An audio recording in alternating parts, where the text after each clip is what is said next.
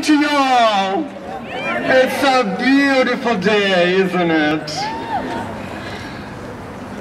Marsha P. Johnson used to greet their friends like that.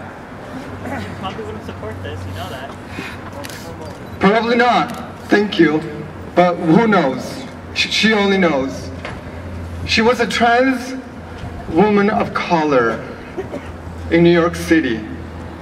For many years, she managed to survive, putting a smile on her face, doing sex work, begging on the streets, sleeping wherever her friends would let them.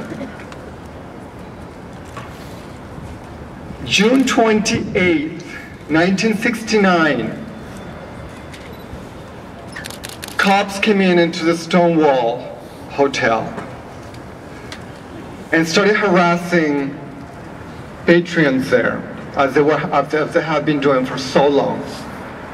This time, some people have had it.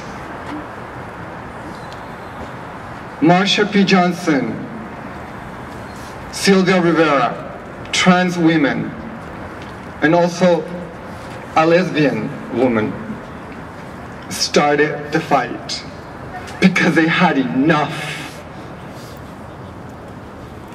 They had enough of the nonsense that society was making of their life.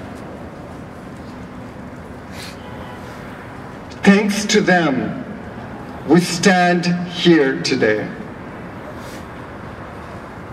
The LGBT movement grew from there worldwide.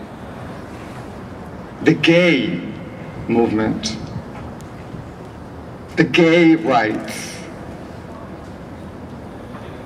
I guess back then we didn't really know about how, the power of language. We didn't really know how different and how diverse we are in this community. They didn't ask for gay marriage because they had had it with marriage. So they didn't ask all the things that we should have asked at one go. So this fight prolonged for years. The next year, the first gay pride in New York happened at the same time of the year. By 1978, the gay community asked the trans community not to show up with their pride because we were we were putting them to shame. Because at that point we still hadn't left the streets. We were still getting beat up. We were still getting ostracized. And believe me, we still are. We're in a more passive aggressive way. But back then, that community did not take it either.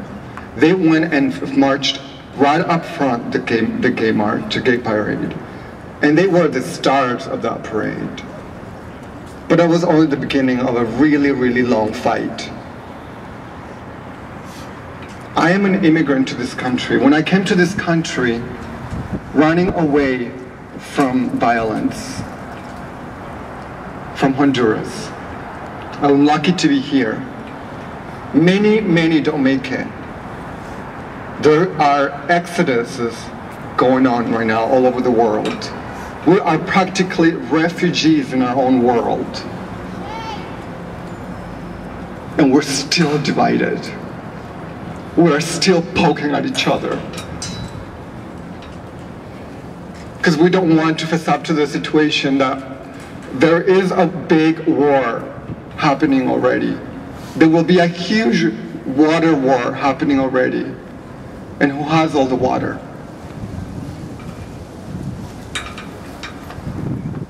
Those are the things that should be first and foremost in our in our lives. How to stop what's coming our way. But no, we're still fighting against each other. There are still sex workers in the streets who are misunderstood. There are still people that get ostracized. I came to this to this country, and once I felt safe enough to really be myself. I guess I didn't know I had gay rights, gay privileges. I used to travel.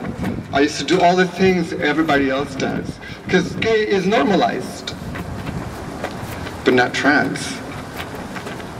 Up until this point, us trans people are facing numerous, and I say, and I mean it, numerous that affect our daily life. Our mental health is decaying every single time. To get out of that door, if we are lucky to have a home, we know what's coming. Just a few days ago, I left my house just to get something to eat.